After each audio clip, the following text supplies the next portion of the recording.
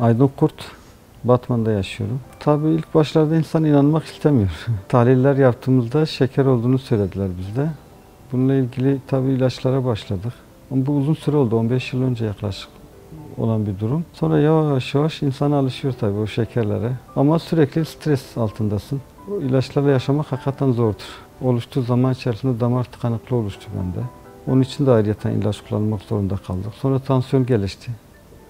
Tansiyon ilaçları da kullanmaya başladık. Tabii insülin de kullanıyordum. Her akşam bir insülin de kullanıyordum. Ama tabii insülini sık sık kullanamazsın. Özellikle bizim gibi seyahat yap, seyahat içerisinde olan insanlar biraz zorlanıyor. İnsülin çünkü her yerde taş, o soğuk zincirde taşınması gerekiyor ya. Çantalarda falan olması biraz sıkıntılıdır.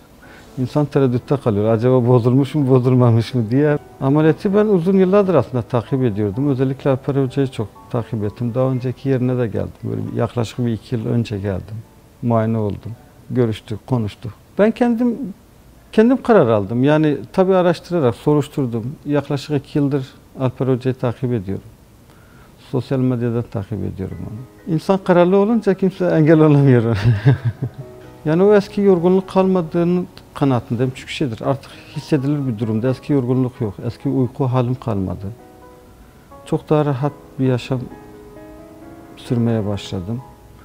Ee, Her şeyden önce ilaçların psikolojisinden bile kurtulmak çok büyük bir keyiftir gerçekten. Alper Hoca özellikle böyle bir konuda bu kadar çalışmalar yapıyor, bu kadar insanlara faydalı bir ameliyat sürdürdüğü için gerçekten teşekkür ediyorum. İnşallah umarım şekeri olan herkes bu yolu bir denerken kurtulmuş olacaktır.